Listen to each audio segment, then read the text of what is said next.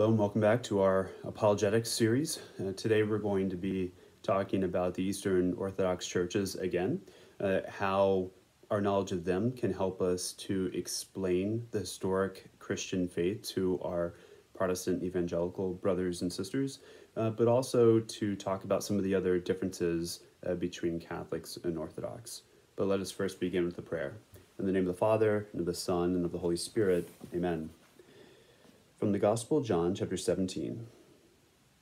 I pray not only for them, that is the apostles, but also for those who will believe in me through their word, so that they may all be one, as you, Father, are in me, and I in you, that they also may be in us, that the world may believe that you sent me.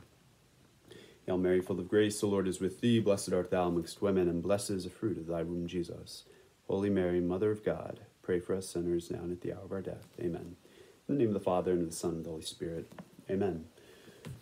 All right, so um, last weekend I preached about the Eastern Orthodox Church, uh, its history, um, and what it is, but also by coming to understand them, we come to understand ourselves because we have a shared history.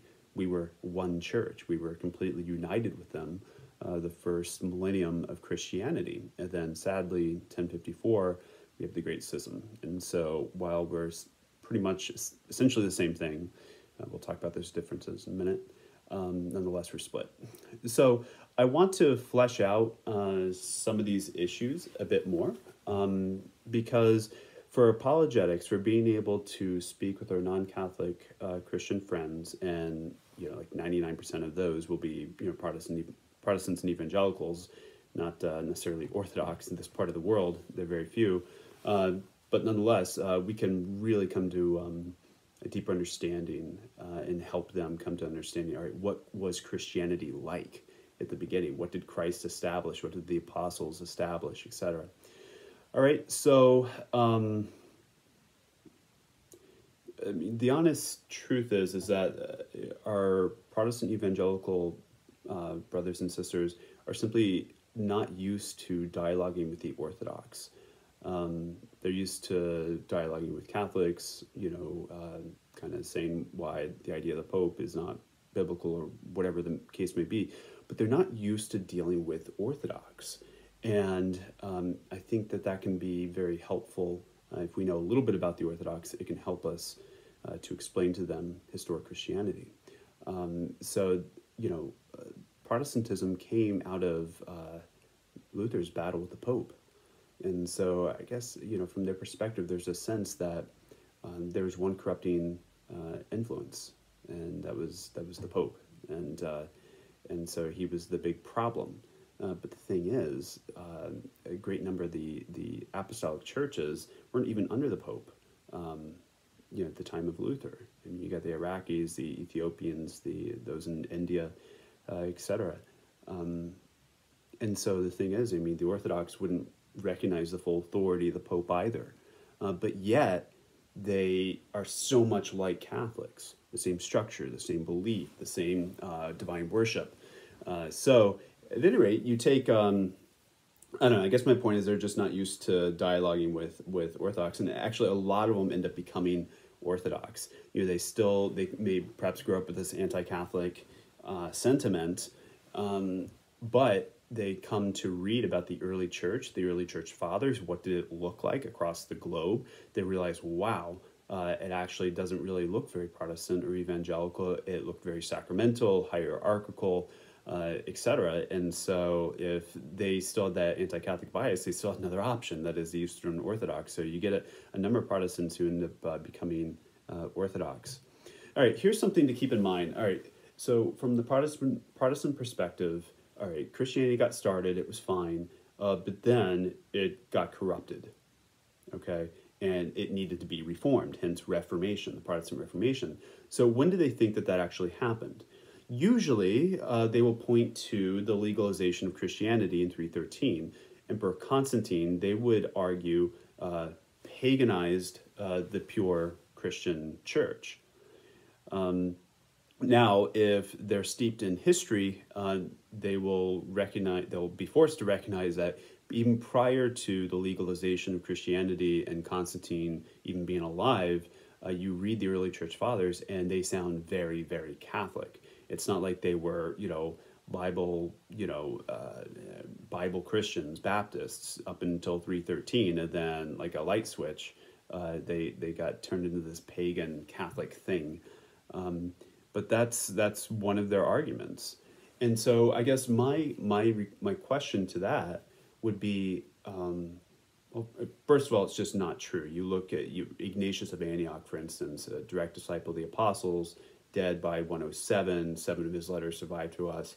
I mean, the church that he had sounded very, very Catholic. Bishop, priest, deacons, hierarchical. You obeyed the bishop, you obeyed the priest.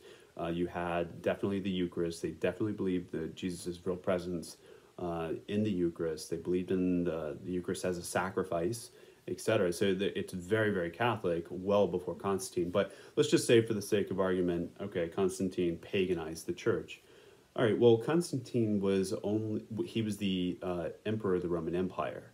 Okay, the Roman Empire, uh, for as vast as it was, it didn't cover everywhere uh, where Christianity was. I mean, Ethiopia, for instance, and India, um, and then I'm not quite sure how far deep into the Middle East uh, was the Roman Empire the time of Constantine. Um, but I don't think it was as deep into Iraq uh, for instance, as the Chaldean Christians were. So my point is, is that you had Christians outside of the Roman Empire, uh, yet, um, yeah, so they were apart from any sort of corrupting influence of, of Constantine. But you just you don't hear, you don't see any letters of any sort of turmoil between Christians about, hey, why are you being paid? Why are you allowing this paganization into pure Christianity? There's not a fight everybody believed the same thing.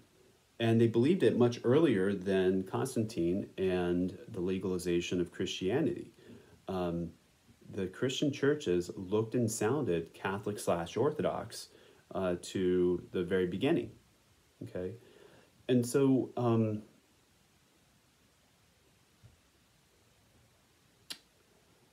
here's the big here's a big argument. Um, I think one of the strongest arguments that we have.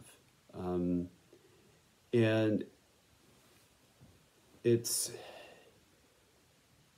you know, again, the, the, the, Protestant reformers, they were battling, you know, Catholics. They were deep in the West. They were in, in Germany and France and Switzerland. Uh, and so, you know, their idea of a corrupt Christianity was simply Catholicism. But our strongest argument, I think, um, when it comes to discussing with non Catholic Christians. Uh, what did the early church look like? What did Christ intend uh, for his church to be and to look like and to believe and to worship, etc.? Is the fact that um, all of the churches that go back to the first century, they believed the same thing. They were structured the same way. They worshipped the same way. Okay, so by the by the year 100, uh, during the apostolic period, the apostles or their close collaborators, having established churches as far west as Spain and as far east as India. Uh, but, you know, of course, Jerusalem, Palestine, Syria, Iraq, Egypt, Carthage, um, Armenia, Turkey, Greece, Rome, uh, all these places, they were established, Ethiopia, uh, they were founded either by apostles or people they worked closely with. And all of these churches sounded the same, looked the same. They all had the same structure. You had a bishop who was assisted by priests and deacons, there was a hierarchy, there was authority. They believed in authoritative councils. Um, they believed in appealing to the bishop of Rome for a final say. They also they, they believed the same thing they all believed in the Apostles' Creed.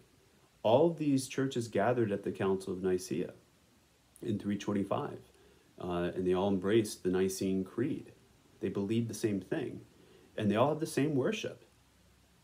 Uh, so that so the um, both east and west, it was the mass, and very similar structure. Even though it ends up kind of looking a little bit different, especially between the east and the and the west, but the same structure is very much there. So I guess my point is, how is it that all of these churches that were founded in the apostolic period, founded by apostles or their close collaborators, how could all of them have gotten so much wrong?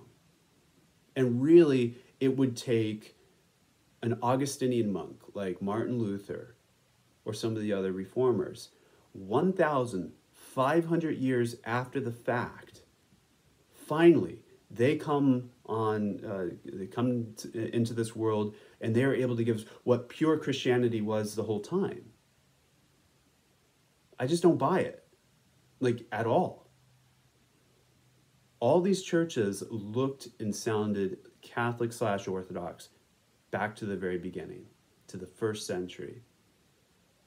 How could all of them have gotten the structure of the church wrong? A bishop with authority, assisted by priests and deacons. How could they have gotten the Eucharist wrong? That Jesus was truly present in there, or that the Eucharist was a sacrifice? How could they get that wrong? Or uh, the idea of praying uh, to saints, the idea of honoring relics, the idea of having altars and churches and blessed objects, the idea of having a liturgical calendar. All these things, um, having seven sacraments. How could they have gotten that wrong? You know, the Protestants will say there are only two sacraments. Well, it depends on the, the, the denomination, but I think a lot of them just believe in two baptism, um, and maybe Eucharist, maybe marriage, probably the Eucharist. Um, but they don't, they think it's either symbolic or bread is still there, Jesus is only there during the service, then he leaves after the service. It's it's just not what we believe.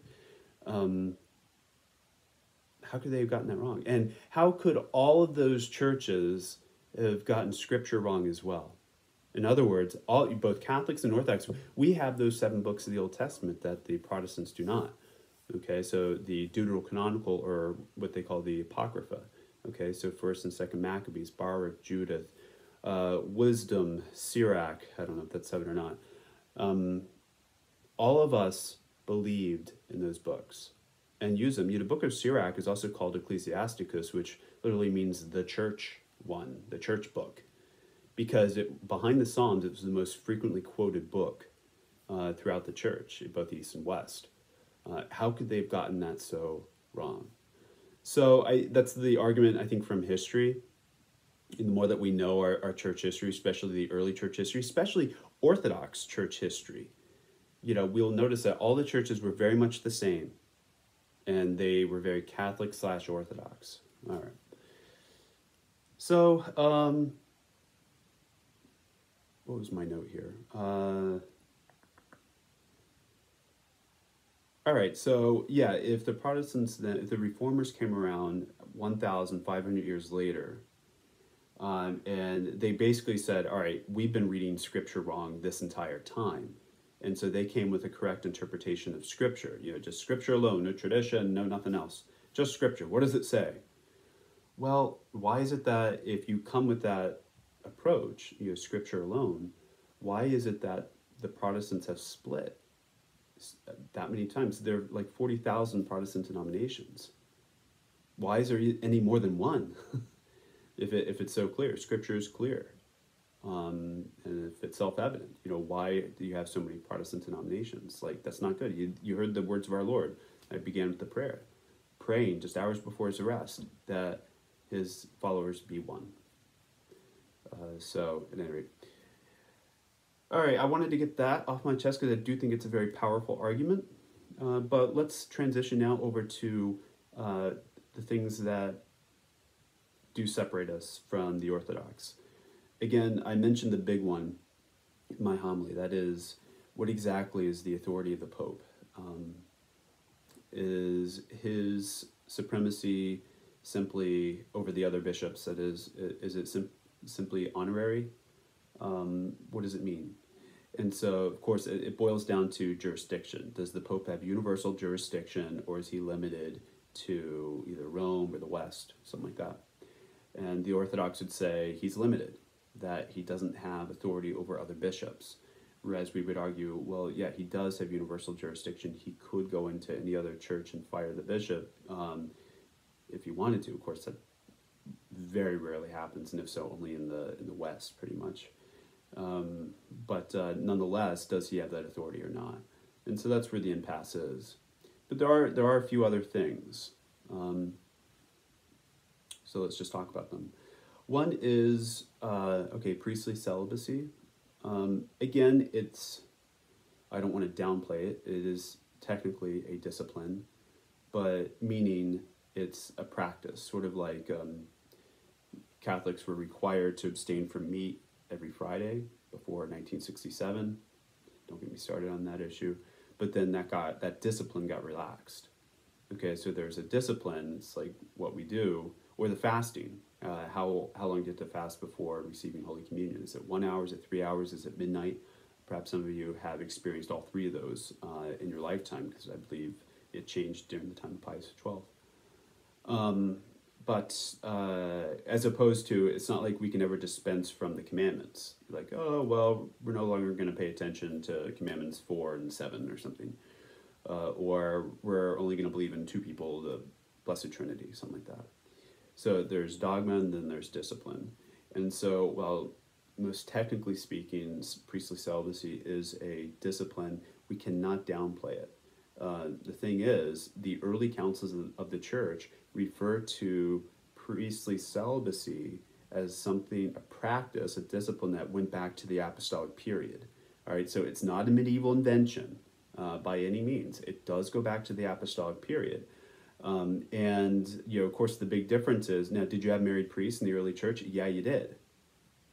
But they had to live as brother and sister with their, with their wife. They couldn't live uh, as if they were married, enjoying um, the rights that go with that. So they had to be continent. Uh, and so uh, that's the big thing people forget about. Um, so in the late 600s, uh, the Eastern Church, so part of what today would be the Orthodox Church, uh, they started relaxing that discipline.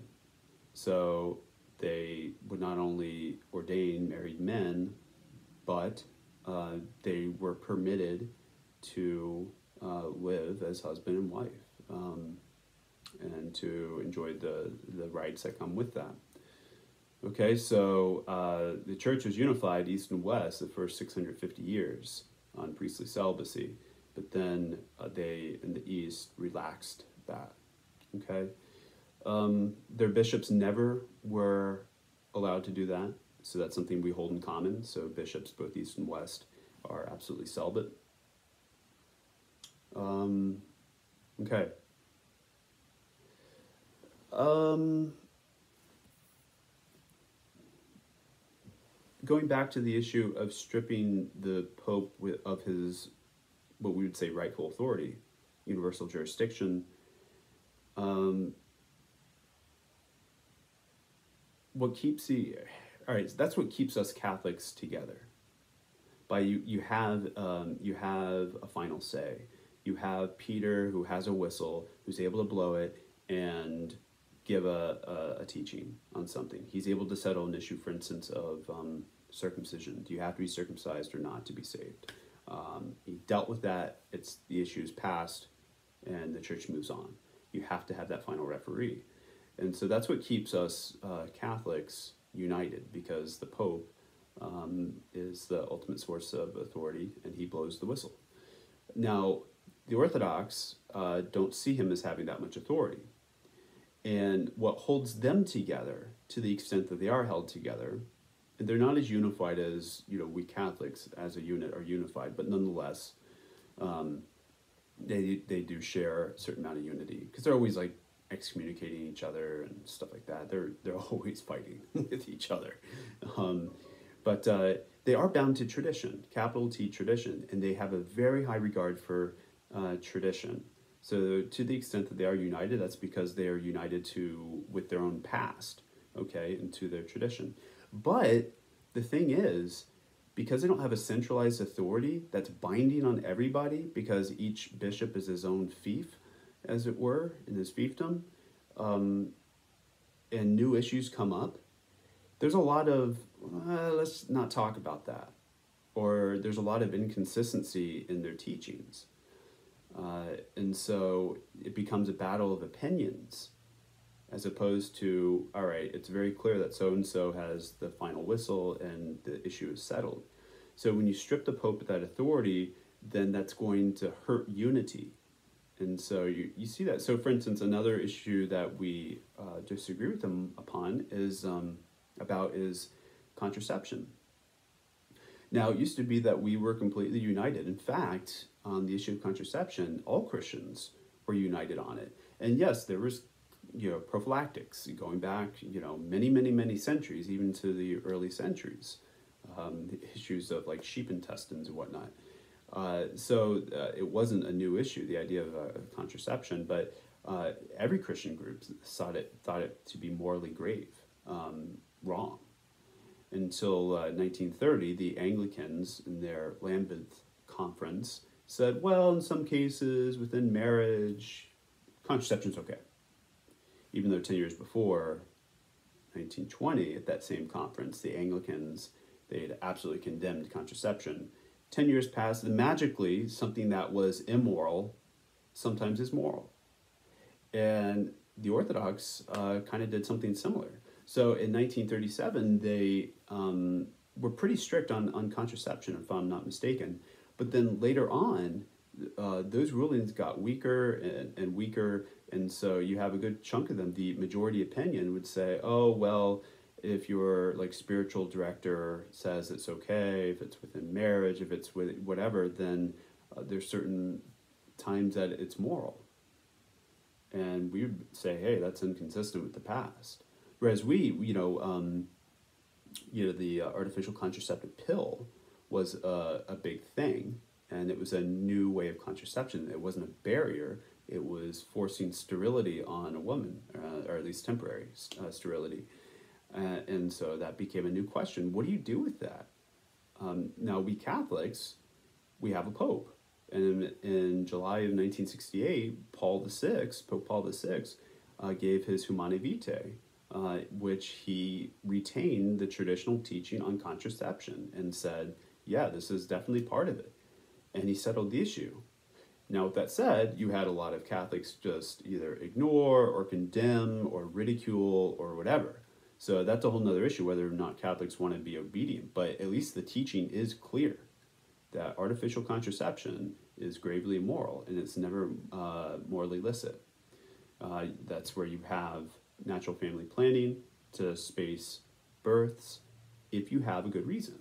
Remember, I mean, and people I, this one obviously hits close to home with people, but um, the first commandment God ever gave was be fruitful, multiply, not uh, replace. And uh, so, at any rate, that that's that's a serious topic. So, contraception, it honestly depends where you are in the Orthodox world, what type of answer you're going to get. But that's what happens when you don't have that centralized uh, authority. The Orthodox do allow divorce. Okay, now we're not talking about annulments. Okay, annulment is not a divorce. Um, annulment is the root of the word null is a declaration of nullity, saying that there was something defective uh, the day of the wedding. Um, so either somebody was coerced, and so they, they weren't able to go there on their free uh, by the free will to make a true gift of self. Okay, that can nullify. Uh, or let's say they got married outside of the church on a beach without any sort of dispensation. Like if there's no if because we're bound to form as Catholics, um, and so if you don't follow that form, it's invalid. Um, and there are other things like not being open to kids or having no intention of being it being an exclusive relationship, whatever.